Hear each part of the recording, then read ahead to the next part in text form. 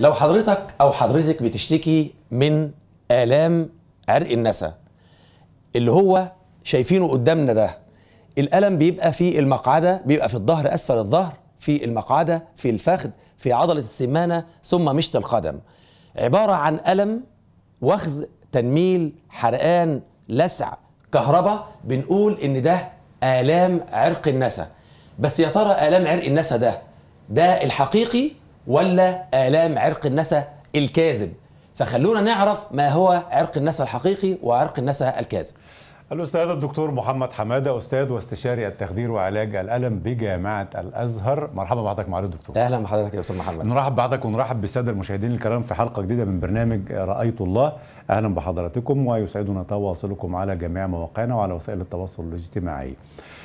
انت خضتني يا دكتور ولا خضة هي هي الحقيقة خضة لناس كتيرة ما تسمعش فعلا عن العنوان اللي أنا قلته دلوقتي هو اولا اسمه عرق النسا ولا النسا هو عرق النسا مش. ملوش علاقة بالنسا لأنه هو موجود آه. عند الرجالة ولا تبقى يعني فعلا؟ عند نعم. الرجالة برضو، آه،. مش- مش ما- نسا آه، يعني. لا لا مش نسا بفتح النسا الن- بفتح النون آه بفتح النو... أنا كلغة ممكن أقول لك النسا لأنه ينسي الإنسان آه، حاجات كتير عشان في الحياة من كتر الألم صعب. نعم. آه ألمه صعب يا دكتور لا جدا جدا هو آه. ليس ألم بالمعنى العادي اللي هو الألم العادي آه. ده إحنا بنقول فيه وخز ولسعات كهرباء وتنميل وحرقان يعني لطيف ممكن. ثانية يمنع الإنسان النوم يا خبر أبيض نعم، طبعا.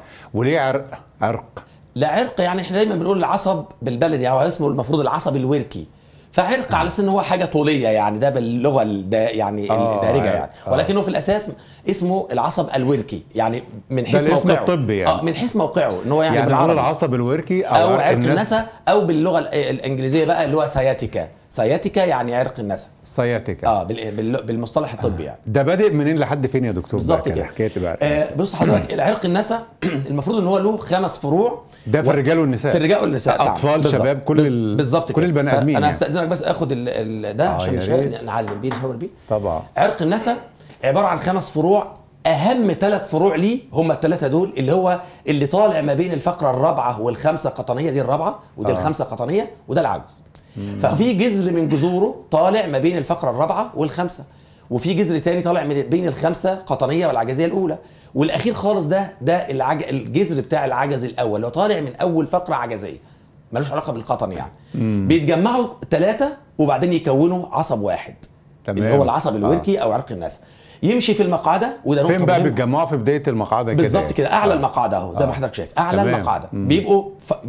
آه يعني عصب واحد تمام آه. فبينزل بعد كده من المقعدة على الفخذ ثم بعد ذلك على السمانة جزء بيغذي خلف السمانة وجزء بيغذي لا الجزء اسعى على الرسل عشان أستمتع بالرسم. الجميل ده بقى اتفضل. من عند السمانة ك... من عند أول السمانة ابتدي يتفرع أهو بقى الله ينور عليك تمام جدا. آه. لفرعين فرع أو بيمشي على الجزء الخارجي للرجل اللي هي تحت ال- الركبة يعني. الخارجي اللي هو هنا قدام ده. يعني كده. آه. مفيش في الداخلي. الداخلي هنا مش عرق النسا الداخلي ده عصب آخر. الله. فعلا؟ تمام؟ ده عصب تاني خالص آه. آه. بيطلع من مستوى أعلى من ده في العمود الفقري من فوق. تمام. فعشان كده إحنا عشان نتأكد مفيش عيان عنده عرق النسا ويقول لي ده أنا الجزء الداخلي من ال من من ال من الفخذ أو من السماء من الساق في مشكلة. يبقى ده- يقلم فين؟ يقلم الجزء الخارجي الخارجي. والجزء الخلفي. فقط. والأمامي. لكن الخارجي الداخلي لا. اللي هو بين الرجلين يعني اللي بين. الرجلين بالظبط. ده. ده مش ده لا ده مش. تبع عرق النسا خالص. آه يعني الرجل اليمين يبقى خارج اليمين الرجل الشمال الشمال خارج الشمال بالظبط. أو أو في الخلف على طول. أو في الخلف. الموضوعين دول عرق النسا آه يعتمد على إيه؟ الفروع. زي ما حضرتك تكرمت ده ده فرع بيغذي الجزء الخارجي والفرع ده, ده لحد فين بقى؟ لحد الصوابع ده؟ لحد يعني. الاصابع القدم. الله أكبر. للأمام خالص. آه. عشان كده كتير جدا من الناس بعضهم يقول أنا عندي ألم بس واصل لحد السمانة من الخلف أو السمانة من الخلف والجانب. أيوة. أو لا ده نازل لحد مفصل الكاحل. أو لا ده بيوصل لحد صوابعي يا دكتور وبينمل وبيحرق وما بعرفش انام وعندي سخونة في صوابعي وعندي تنميل وهكذا. تمام. طب ده عرق نازل لحد الص... الص... والتاني؟ والتاني برضه مكمل اللي هو الخلفي بقى. مكمل برضه دول دول. بيتفرع لفرعتين. بالظبط. طب عندي بيتفرع والتالتة بقى اللي. هي من العج... التالتة دي بقى رايحة فين؟ ما هو ماشي معاهم. ما هو التالتة بص حضرتك. واحد اتنين تلاتة اتجمعوا وعملوا واحد. تمام. خلاص بقى واحد ده شامل التلاتة. يعني آه، التلاتة داخلين جواه. الفرعين. بعد كده اتفرعوا اتنين. واحد من الخلف وواحد على الجزء الخارجي. أمال أنا شايف فرعين تاني كده. ما هو ده برضه فروع من ده. يعني الف- الفروع الصغيرة دي طالعة من ده من اللي ورا الرئيسي ده. تبعه برضه العصب الوركي تبعه يعني بس دي. فروع بقى يعني فرعية أكتر. آه ما بتنزلش للآخر يعني أقصد أقول إيه؟ الفرع الرئيسي ده اتقسم اتنين. واحد على الجهة الخارجية كامل أهو ما طلعش أيوة. منه حاجة باينة. آه. لكن ده لو بعد ما اتقسم أهو هنا في الحتة دي بدأ يطلع هو فروع كمان. تمام. لكن في النهاية المريض بيشتكي من إيه؟ بيقول لا والله أنا عندي آلام واصلة لحد سمانه الرجل أو أصابع الإيه؟ القدم. آه، التشخيص الصحيح بقى لعرق النسا يبدأ الألم منين لحد فين؟ يبدأ بعض المرضى. يقول لي أنا عندي آلام أسفل الظهر وبعدين نازل على المقعدة تمام. وبعدين الفخذ من الخلف. أيوه. كل الحاجات اللي إحنا قلناها. أيوه. وبعدين السمانة وبعدين الأصابع. يعني واخد من عند الظهر كده لحد من الظهر من الخلف. الرجل كلها من الخلف يعني. بالظبط كده. بالظبط. يعني ملوش مناطق؟ له مناطق. ما أنا عشان كده هقول إن يعني إحنا المناطق دي يعني واحد يبقى عنده ظهره ورجله وواحد يبقى عنده رجله بس. يعني يقول لي يا دكتور أنا عندي الألم ما بيبدأش في ظهري خالص. ده بيبدأ من أول المقعدة. ثم الفخذ ويكمل. آه طب نشاور هنا من أول فين بقى يعني ممكن أول من هنا؟ هنا يقول لي أنا بادئ الألم أيوة. عندي والتنميل والحرقان من أول الحتة دي كده لحد مش الرجل كلها. آه لحد تحت ده يبقى إيه؟ تشخيصه إيه؟ ما هو ده اسمه عرق النسا برضه. تمام. طب لو كان بادئ من الظهر من اسفل الظهر. برضه عرق النسا. عرق النسا آه بقى بس هو بقى الفرق اللي هنقوله دلوقتي أيوه. الفرق بين حضرتك عرق قلت لي النسا بقى شدتني بكلمة ضخمة أهو في الأول عرق نعم. النسا الكاذب. الكاذب نعم. إيه بقى الكاذب قليل؟ قوي. أكيد طبعا هي جديدة آه. على مسامع حضرتك جدا. وعلى مساعد مسامع الساده المشاهدين وكتير آه. جدا من الناس ما, ما, ما يعني لم يسمع عنها يمكن من قبل يعني. إيه بقى عرق هو النسا عرق؟ النسا هو عرض واحد سواء كاذب أو صادق هو نفس الأعراض اللي اتكلمنا فيها. تمام. بس مع الفارق اللي حضرتك أشرت إليه. عرق النسا الكاذب ما يوجعش الظهر ابدا. أساسا. ليه؟ لأن منشأه بيبقى في المنطقة دي أو تحت من- كل ما هو دون العمود الفقري. آه يعني من المقعده لتحت كده. بالبلدي كده الظهر لما يقس- يقسى أو يضغط على الجذور يبقى ده عرق نسا صادق اللي هو الحقيقي اللي إحنا بنتكلم. عنه كلنا عارفينه. لما يبتدي حاجة تانية تضغط على عرق النسا في مساره يبقى ده عرق النسا الكاذب. مفيش غضاريف يعني مفيش مشاكل في الظهر بس نفس الأعراض نفس الأعراض. حرقان خضران تنميل أيوه وخز واخذ نفس الأعراض سخونة أحيانا برودة لأن ده عصب هل نفس. بيغير لون الرجل يا دكتور جلد ولا حاجة في حالات متقدمة جدا يأثر على يغير لون الجلد وفي حالات متقدمة أخرى ممكن يسبب لا قدر الله مشكلة في الحركة هو سقوط قدم سقوط قدم بمعنى إن القدم المفروض لما نرفع رجلينا عشان نخطي خطوة تبقى آه. رجلي عاملة كده القدم القدم. تقصد. ما آه القدم آه. ما أقدرش. أرفعها لأعلى العيان يعني- اللي هو عنده مشكلة في يعني قصدك اللي يعرفش يلبس الحذاء مثلا أو ال- أو السليبر بالظبط. يضيع من إيده أو. الشبشب. بالظبط. يعني هو لابس حاجة في رجله غصب عنه هو ماشي؟ حاجة من اتنين. حتى لو ماشي من غير حاجة خالص في الأرض يعني في البيت رجله تخبط منه وممكن يتكعبل. يعني انها ما بيعرفش يرفعها لاعلى الله أكبر. كده بصب على العصب الحركي بقى. أيوه. بيأثر على أنا الأعصاب. ولا أبقى كده ما شاء الله. ما أنا فهمت من حضرتك إنه في في في عصب حسي وعصب حركي. بالظبط. هو ربنا سبحانه وتعالى عامل لنا حاجة كويسة قوي في تركيبة العصب ودي برضو قدرة عظيمة لله سبحانه وتعالى. أيوه قول لي بقى. الجزء الخارجي أو الإطار الخارجي ده عبارة عن اعتبره كابل. تمام. كابل كهرباء زي الكابل آه. الكهرباء. آه. الجزء الخارجي خالص ده عبارة عن الألياف الحسية اللي بتوجع. ملهاش دعوة بالحركة آه. خالص. تمام. اللي ماشي جوه في القلب أعصاب الحركة. الله أكبر ده في العصب. ده في العصب. يق- شوف ربنا قدرته بقى فين العظيمة بقى؟ لما العصب يتضغط عليه يقوم الأول مين اللي يتضايق اللي اتضغط عليه الحسي. الأول؟ الحسي. آه. فأنا أتنبه إن في مشكلة قبل ما تحصل مشكلة الحركة. أحسنت. لما الضغط يزيد وأنا مش واخد بالي وما عالجوش يبقى معناها إن الضغط زاد والغضروف انزلق أكتر أو انضغط عليه أكتر يبتدي الحركة تتأثر. الله أكبر. يبقى كده يبقى ده برضو حاجة جميلة جدا إن ربنا عاملها لنا. إن إحنا برضو كمان كأنه جرس إنذار أيوه يعني. ألم يبقى في مشكلة. أنت خدت بالك؟ هتلحق قبل ما المشكلة توصل للجزء الحركي. ما خدتش بالك؟ يبقى الأمور بقى هتتطور لحد ما نوصل لإن إحنا يبقى عندنا مشكلة في الحركة. طيب خلينا نقف مع حضرتك على أسباب آه، ال- ال- العصب الوركي أو أسباب أسباب عرق النسا سواء كاذب أو حقيقي. نعم. إيه هم وده؟ الأسباب الحقيقي بيبقى منشأه زي ما قلنا مشكلة في العمود الفقري أسفل الظهر يعني.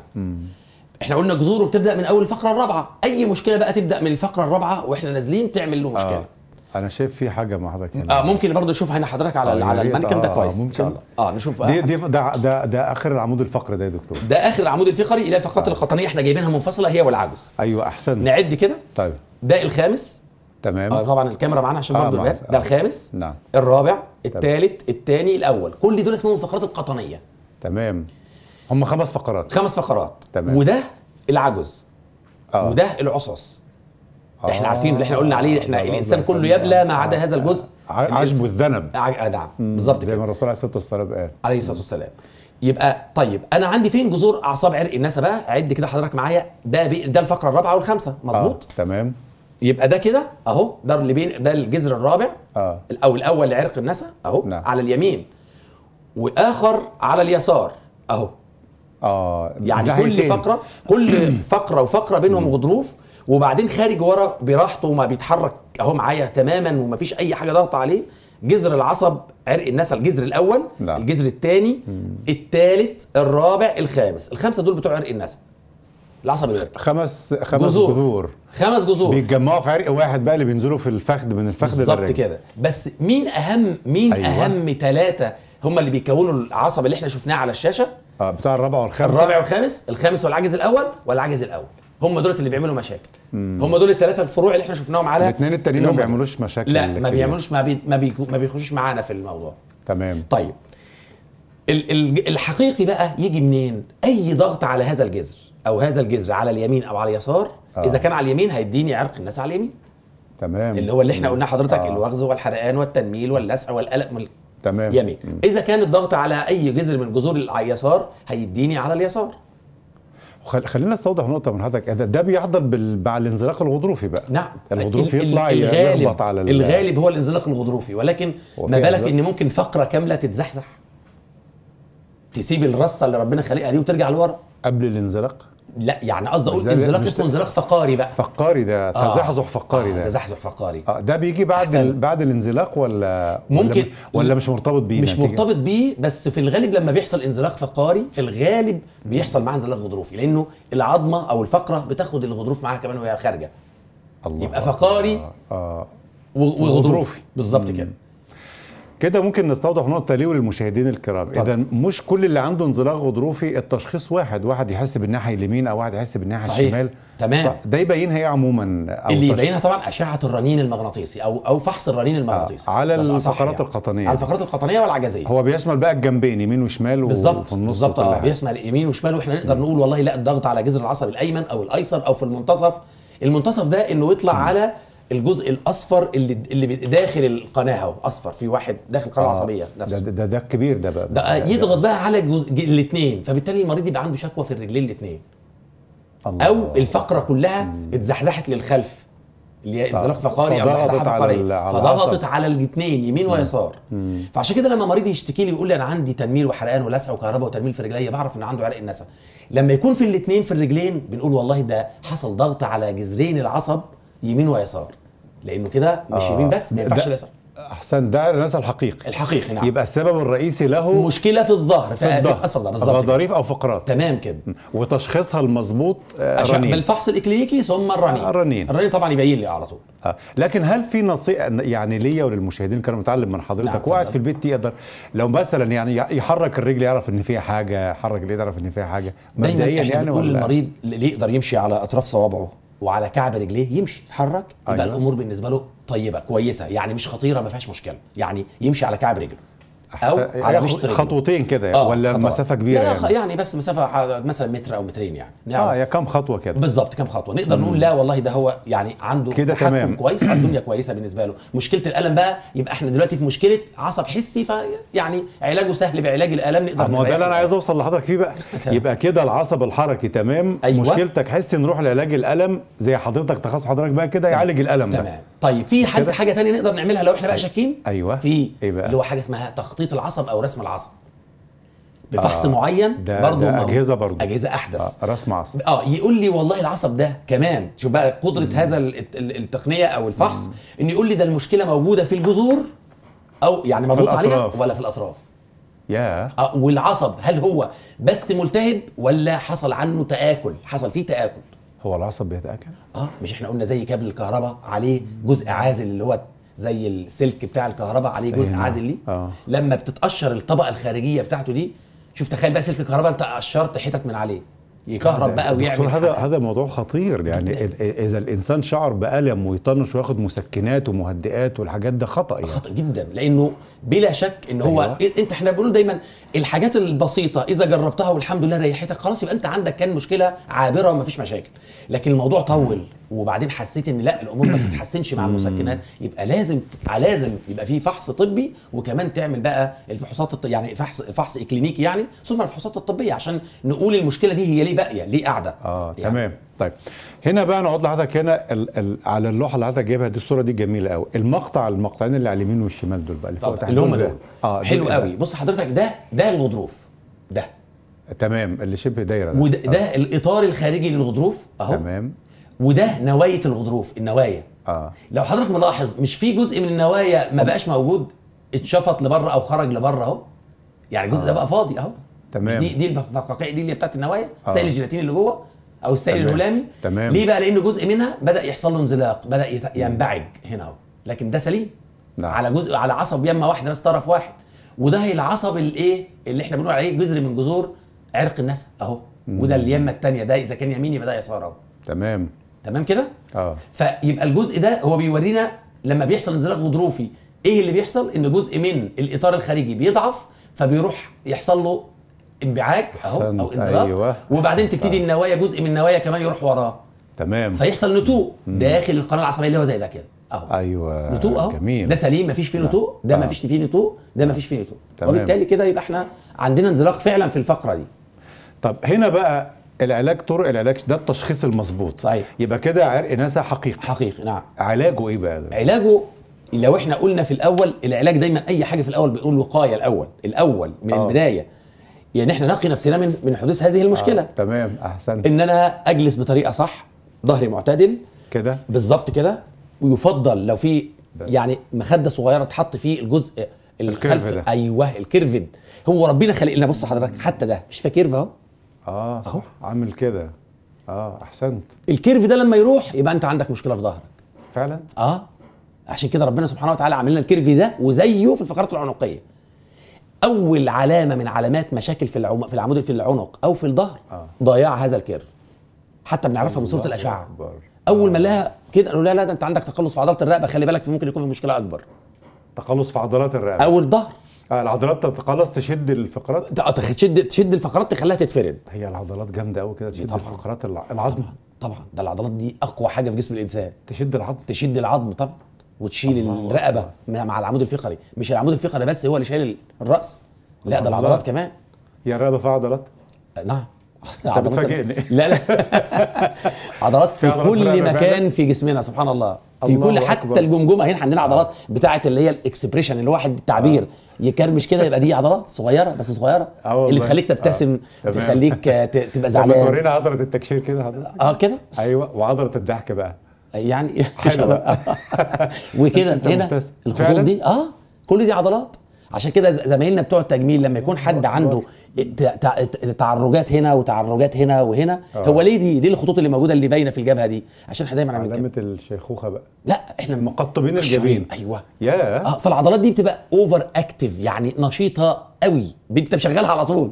الله أنا مش عايز حد من المشاهدين يكشر تاني. محدش خلينا دايما مبتسمين. ف... فانا لما نبتسم بتضيع بجد بالظبط يا- كده. فعشان كده العضلة دي لما حد دايما مكشر وزعلان وكمان عينيه حواليه خطوط كده آه. دي معناها إن العضلات دي شغالة بشكل كتير فمحتاجة إنها زي ما قلنا الناس عشان كده بتوع التجميل بقى لا منظر آه، بيبقى مش حلو. طبعا. فبدأوا يحقنوا بوتوكس في في العضلات الصغيرة دي بجرعات معينة عشان تفرد تلاقي كده الدنيا دي تمام. بتلمع وجبهه مشدودة على الآخر. نعود بقى للرقبة نعم. والفقرات القطنية. هل كده يخضع لعلاج طبيعي مثلا عشان يرجع الكيرف تاني نعم. ولا؟ ده أول حاجة وأول خطوة سليمة المفروض إحنا من قبل حتى العلاج الطبيعي. أحسن. بالطبيعي. العلاج الطبيعي أصلا من قبل ما أروح لدكتور علاج طبيعي أنا في الأساس لازم ليا عضلات وتمارين معينة بسيطة أقدر أعدل بيها يعني سلوكي الخطأ اللي أحيانا بلجأ إليه. إن أنا قاعد فترة طويلة قاعد على الكمبيوتر آه بقرأ مثلا في مصحف أو في كتاب أو حاجة فموطي بشكل دايم مستمر. في عملي دايما ببقى منحني. فأنا. تلقائي لازم يبقى بعض التمرينات لتحسين هنا- وتقوية على ريسلينج نتعلم من حضرتك. اذا مشاكل الرقبة بتحصل نتيجة القعاد فترة طويلة على الكمبيوتر على الموبايل على المذاكرة. بالظبط. تثبيت الرقبة في وضع ثابت لفترة طويلة. أكتر سبب يعمل مشاكل. هي العضلات ربنا خلقها ليه؟ عشان تتحرك. أيوة. طب أنت ثبتها. آه فحد قاعد على الكمبيوتر. قاعد م... ما. كده وعمال ساعة. أو على الموبايل كده. العضلات عشان تخليك رقب معلش الراس حجمها تقيل. فأنت لما تعمل كده تخيل مين اللي شايلها؟ ده العمود الفقري نفسه كمان اتحنى. اللي شايلها العضلات شدها لورا آه الله أكبر. فأنت طول ما أنت منحني كده عامل جهد عنيف على عضلات رقبتك. فعشان كده هي أول خط بيحصل له مشكلة إن هو تتقلص. دي أول مشاكل العمود الفقري سواء في الرقبة أو في الظهر أو في الظهر فإحنا بنقول للشخص أنت عندك شغل معين وأنت لازم باستمرار تعمل تقوية تمرينات بسيطة لتقوية عضلات الرقبة وتقوية عضلات الظهر. مش هيحصل لك مشكلة طالما انت متابع على طول باستمرار اولا بأول. تمام. نقعد بقى لعرق النسا تمام، أشكرك على. هذه النصيحة اتفضل. الجميلة يعني. كده خرج وضغط خرج على أهو. العصب. زي ما شفنا كده. آه. آه. وهنا طبعا بورينا مقطع تشريحي كده بال- بالقطاع يعني عشان نقدر نشوفه وهو طالع. هنا علاجه هل جراحة؟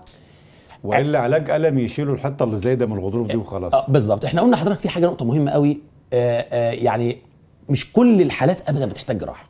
أساسا. خالص. الله يبشرك بالخير. لأن إحنا قلنا الموضوع بسيط قوي. أنا في الأول لما أنا بكلم أنا وحضرتك كده. واحد عنده شوية إجهاد لعضلات الظهر مثلا. يبقى علاجها زي ما قلنا تمارين علاج طبيعي شوية أدوية بسيطة. وطبعا حاجات كمادات سخنة وخلاف. طيب حصل عنده فعلا انزلاق غضروفي بسيط. طب أعمل جراحة ليه؟ ده الموضوع كله إحنا قلنا أثر على مين؟ أثر على العصب الحسي. بس حسي مش. كده لسه؟ مم. يعني ها لامس يا دوبك العصب. طب أنا أروح افتح ظهره واشيل ليه الجزء اللي موجود وتسبب له في تليفات والتصاقات وخلاف لا أحسنت. يبقى في الأول إحنا بنعالجه علاج آلام عن طريق الحقن أو الحقن والتردد الحراري ده. الكلام ده طبعا التداخلي اللي هو من غير جراحة آه. طب لما يبقى بقى قوي والعيان بدأ يحصل له تأثر في الحركة أو والحقن والتردد الحراري دي مش عملية مش عملية دي إبر. إبر. إبر بسيطة حقن جدا. فعلا يعني. حقن نعم. آه، بتاخد. وقت قد إيه غالبا يعني. ما بت... هي كوقت بتاخد حوالي من نص ساعة إلى على حسب عدد جذور مش وقت الأعصاب. أصلاً يعني. نص ساعة تقريبا. والمريض بيغادر المستشفى بعد نص ساعة أو ساعة يعني ما بيقعدش أصلا. ويمارس حياته. يمارس حياته بعد يومين ثلاثة بالكثير هو ممكن يمارس بيمارس حياته من نفس اليوم. يعني يخش الحمام ويعمل كل حاجة. آه. بس نقول له يرجع شغله إمتى؟ بعد يومين مثلا ولا آه. حاجة. خد راحة بس كده 48 ساعة. لكن بيستمروا وقت طويل ولا على طول؟ يستمر وقت. يستمر وقت طويل طالما إن العيان عمل إيه التزم, التزم. بقى آه بالسلوك القويم آه. يلتزم بقى صح آه، خلاص يتجنب الأسباب اللي أدت إلى هذه المشكلة الله يفتح على حضرتك هو كده بالظبط كده هو في أمان ومش هيحصل مشاكل في العصب بعد كده بالظبط أنت كنت في الأساس سليم تماما وحصل لك انزلاق نتيجة لأعمال خاطئة أنت عملتها أيوة. أيوة. طيب فما بالك لما نعمل بقى نسكت لك الألم ونساعدك إنك بقيت كويس ونعمل له ريستارت للعصب انت بقى حافظ ما تخليهوش تاني يحصل له مشكلة. فقط آه. آه. هو ده العلاج. تمام. طيب ده ده ده خطوة أولى. نعم.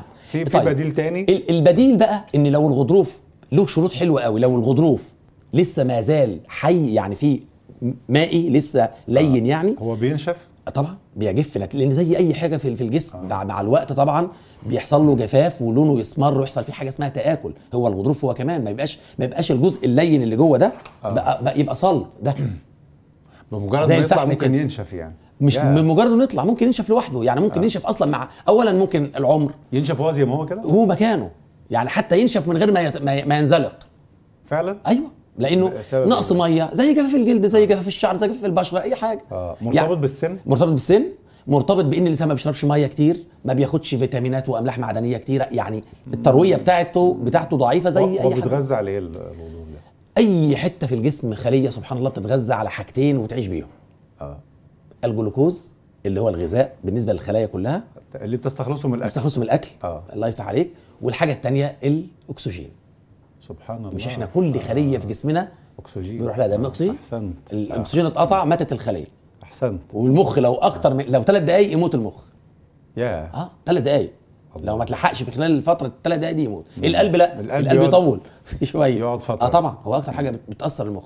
عشان كده ممكن واحد لا قدر الله يحصل له مشكلة يعني لا قدر الله يعني ويعمل له آه يعني آه إنعاش إنعاش قلبي يعني. بيعملوا صدمة كده على صدمة. وإنعاش وبتاع. لو الموضوع طول وما خدش أكسجين في خلال الفترة دي وما وصلش للمخ القلب ممكن يرجع والإنسان ضربات قلبه شغالة وكل حاجة بس مخه مات خلاص. حتى لو فا يعني حتى يرجعش تاني. خلاص.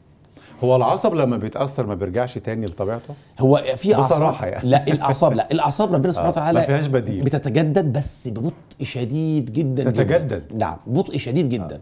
ودي مشكلة أحيانا بنواجهها لما هنتكلم إن شاء الله على حلقة بتاعه آه، آلام الركبة لما بنعمل تردد حراري على الركبة آه. آه. بنقول للمريض إن أنت ممكن قوي ترجع تحس بالالم تاني بعد سنة أو سنتين من التردد الحراري لأنه ربنا جدد لك الأعصاب اللي موجودة ده حاجة كويسة مش حاجة وحشة طبعا آه، طبعا. طبعا أنا بسأل حضرتك ليه هنا بقى الغضروف طلع ضغط على العصب عمل مشكلة في عرق الناس أو نعم. سبب ما يسمى طبيا بعرق الناس نعم.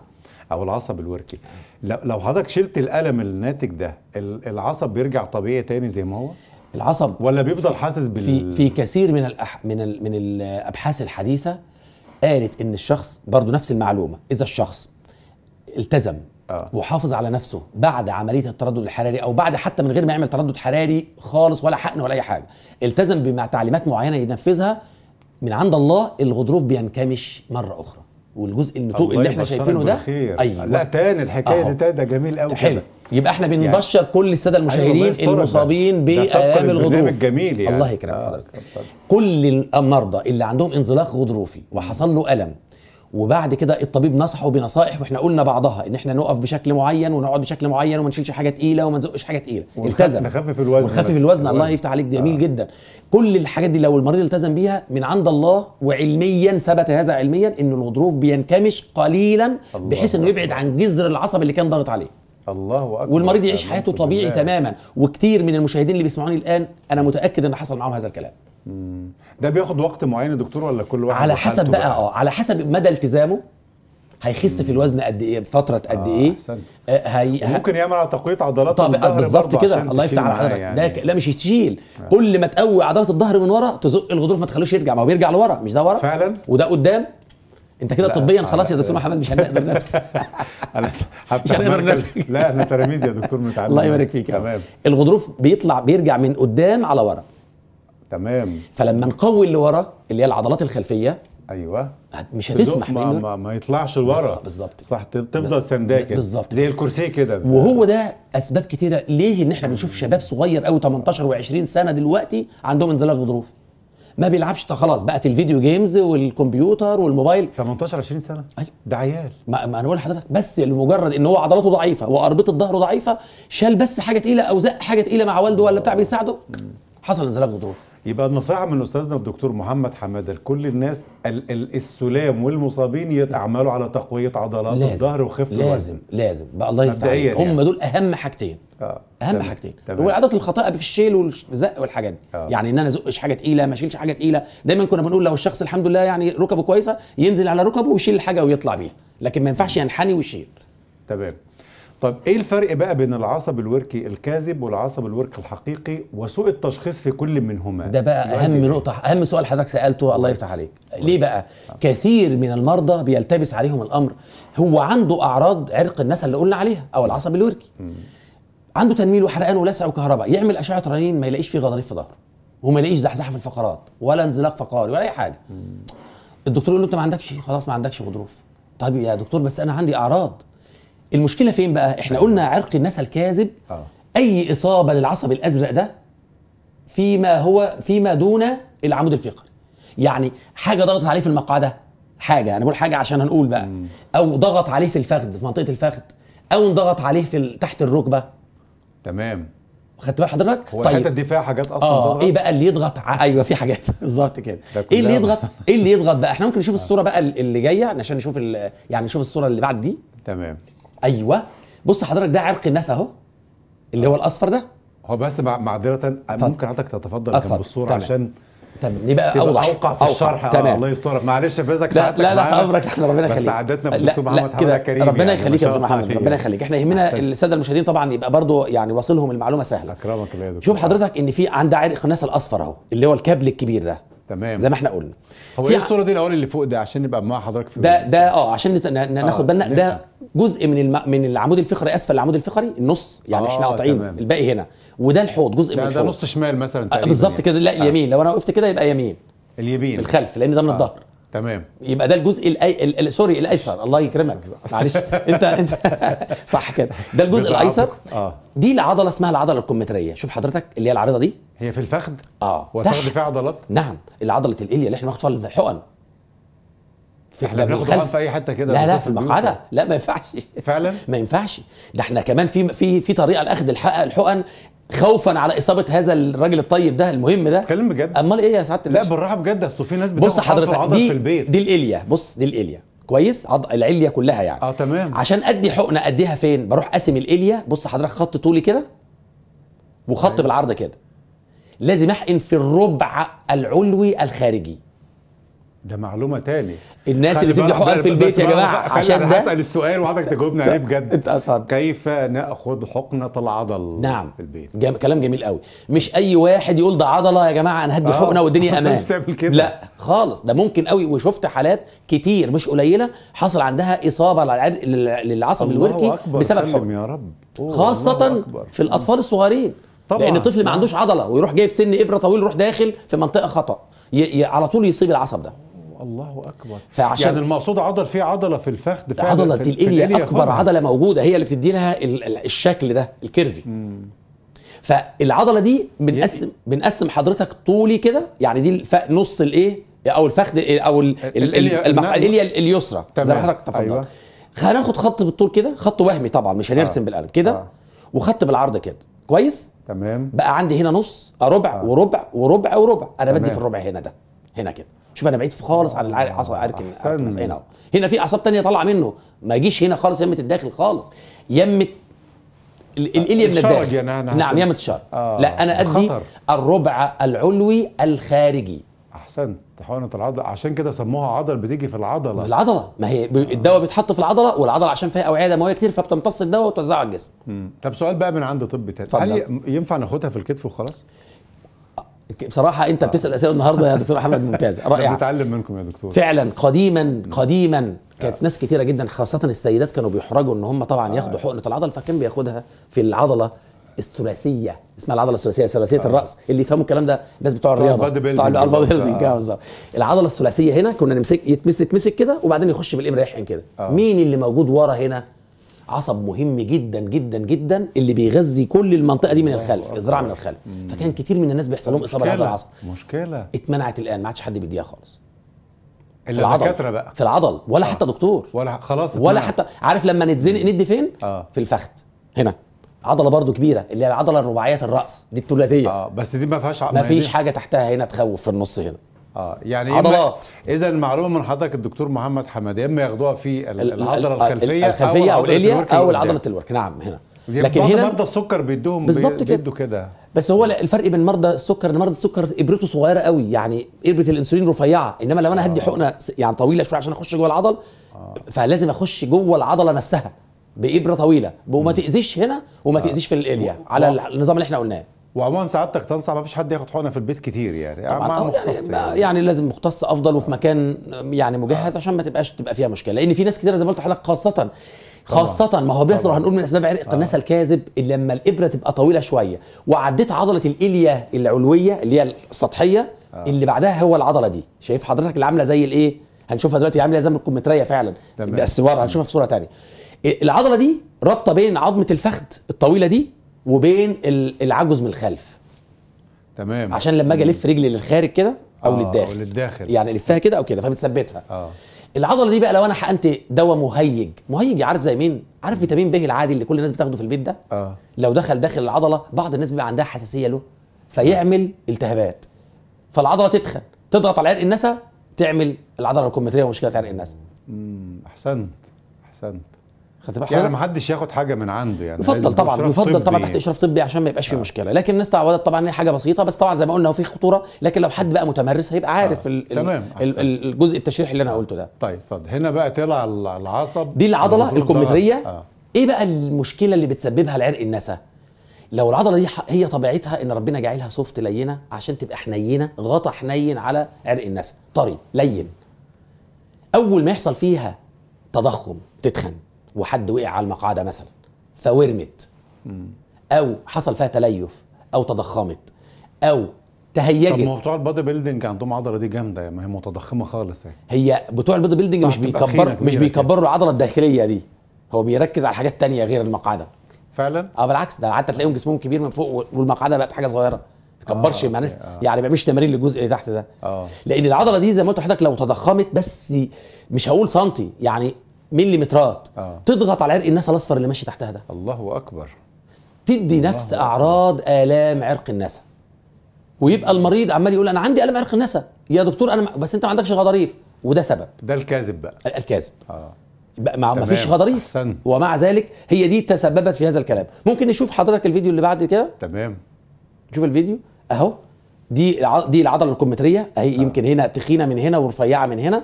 وعرق النسا ماشي أهو. لحد تحت وشايفين آلامه زي ما قلنا بتبدأ من أول الفخذ لحد تحت. تمام. ممكن نشوف اللي بعد كده. طيب هي العضلة الكمثريه بس اللي ممكن تأثر على عرق النسا؟ لا. ده أنا عندي بقى مجموعة العضلات بتاعة الفخذ. عرق النسا ما زال ماشي هنا أهو.